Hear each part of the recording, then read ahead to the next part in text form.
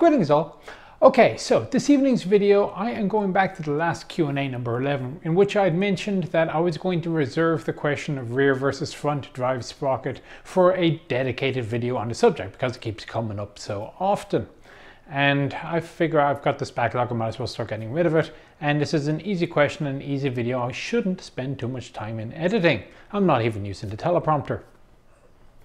Okay, so before we get going, uh, something that was brought to my attention, I had completely and utterly forgotten that I had actually a significant emotional event t-shirt. And it's also by Everpress, so I've asked them to add it to the shop. If you have already placed an order and you want to bundle it in, I think they will be more than happy if you just email them and say, hey, yeah, look, uh, just add this in and they won't charge you a second shipping unit cost or whatever. You know, it should be fairly simple. If you were watching this video more than about two weeks after I release it, ignore that bit.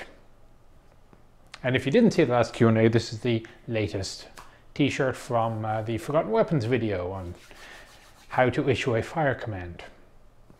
Anyway, to the sprocket wheel, front versus wheel, front versus rear. And there are three major reasons and a couple of minor ones. In fact, when I mentioned it on Q&A, a couple, of, this one chap comes up and says, oh, don't, what we've noticed in the, the Caterpillar bulldozer world is uh, uh, there's less stress on the track pins for a rear drive, something like that. Not an important enough criterion really when it comes to the Army. I can understand it where every little bit of maintenance cost is important to a construction bulldozer, but it's not one of the three major reasons why you might choose front versus rear drive on a tank.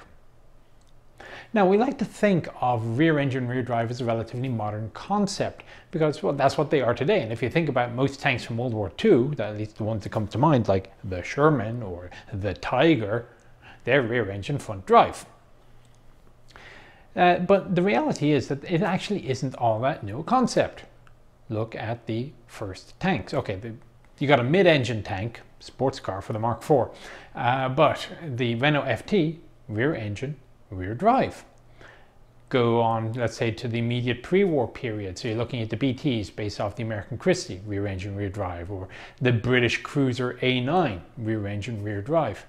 But they didn't always come that way. So for example, it wasn't necessarily a British trait. You look at the, uh, the Vickers 6 ton, the export tank that the British came up with. That was a, that was a front engine, uh, front sprocket.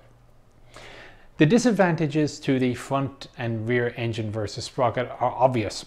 You have to have a way of getting the power from one end of the tank to the other end of the tank. And that means you have to have a drive shaft.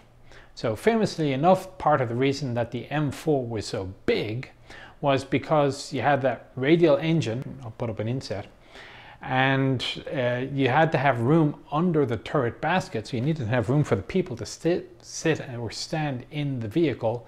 And then underneath that have the power shaft. And then underneath the power shaft basically you got wasted space. That then goes forward and into the front of the vehicle you have the transmission of course a final drive steering system and all that it was not necessary to have the angle going forward though for the power shaft. Uh, if you look, they solved part of the problem with the M18. The M18 actually has a transfer case, so instead of being angled downwards with the prop shaft coming down and forwards, the M18 radial engine is purely vertical. And there's a transfer case, comes out, comes down, and then parallels the bottom of the hull which you would think would save a lot of space, but there's a catch. When they stuck the M36 uh, turret onto the M18, they had to make the turret basket a couple of inches shorter. And you may wonder why, because the M36 and the M18 both have flat power shafts. Well, the difference is the suspension. The M18 has torsion bars, the M36 does not.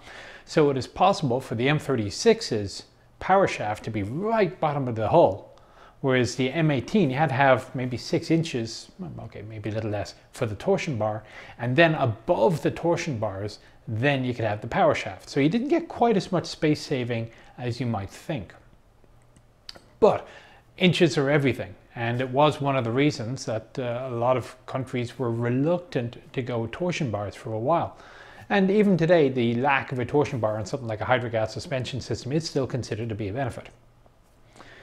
So, where are the advantages? Going over the disadvantages. First advantage is you have a lot of room. Remember, we are not talking about today's reliability. You're going to have to get into the system. You're going to have to tinker with it. You might have to make replacements and changes and so on. If you have the engine at one end and the transmission at the other end, you get a lot more room to access it. So you can imagine accessing the transmission for not major repair work. We're not talking about changing out the transmission here, just talking about basic access with a set of tools, open up the casing and see what you can do. You have a lot of room to access a front transmission in a Sherman, in a uh, Panzer IV, in a Panther or whatever.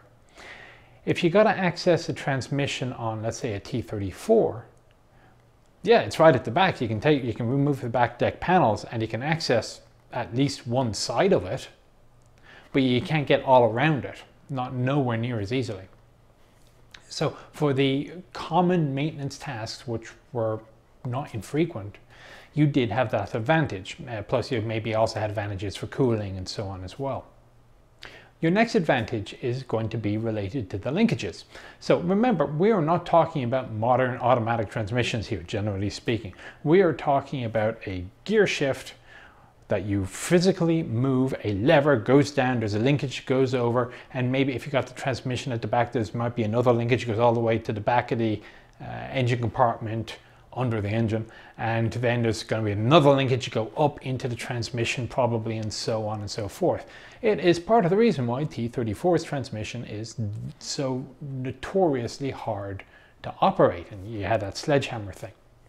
It wasn't just T34, KVs were not necessarily the smoothest transmissions in the world either.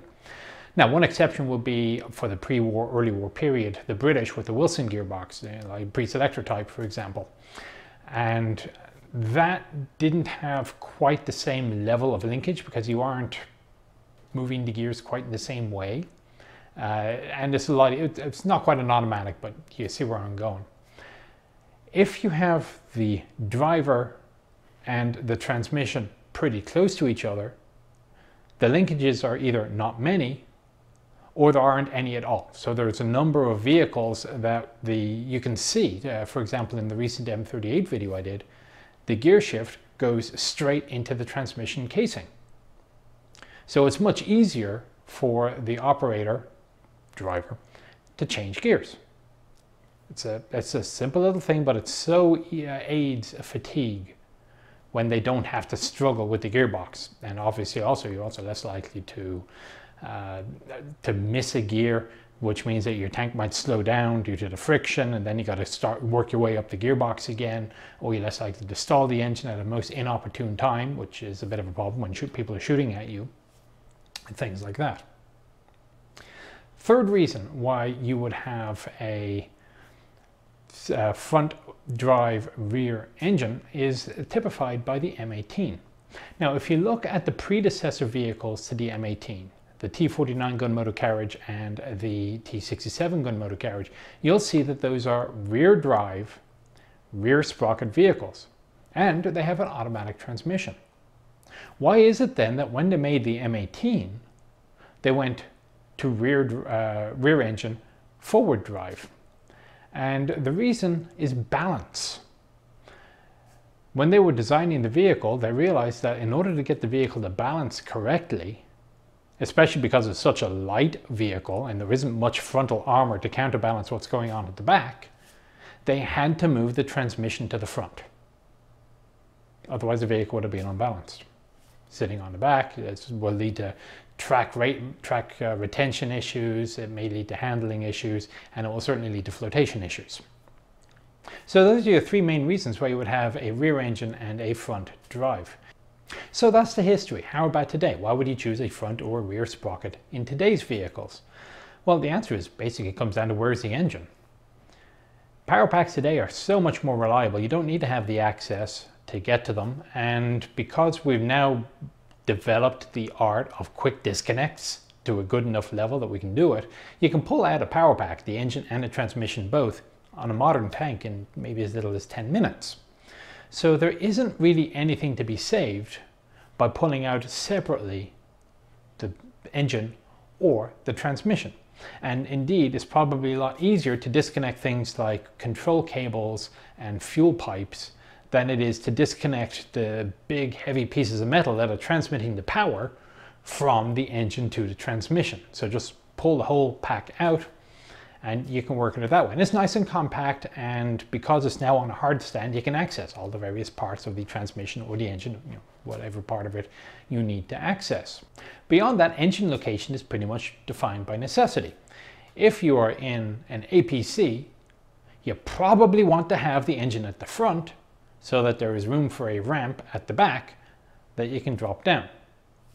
You can, in theory, have an APC with the engine at the back, maybe off to one side, uh, but it just makes the, the exit passage very narrow.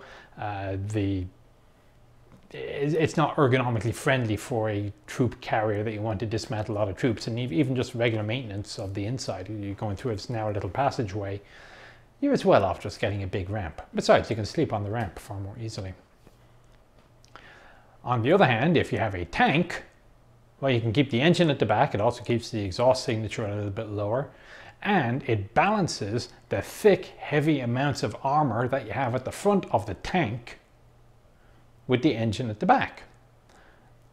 The one exception is Merkava, which of course has the engine at the front, but that was defined by needing to have an access port at the back for ammunition resupply and then pulling wounded troops out so that you don't have to get them at the top or through this ridiculously small hatch in the base.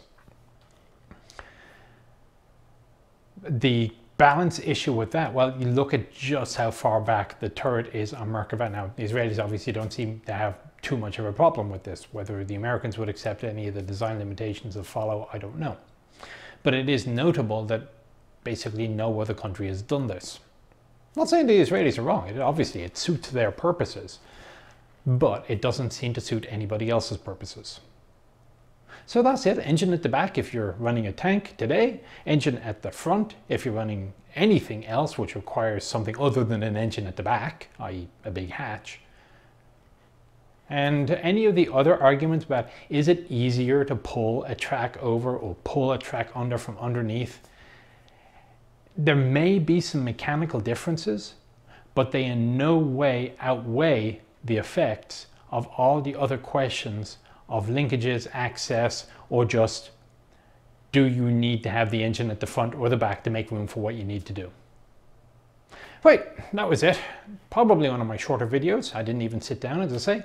So I hope you found it interesting and informative, and I will see you on the next Inside the Hatch on Saturday. Take care.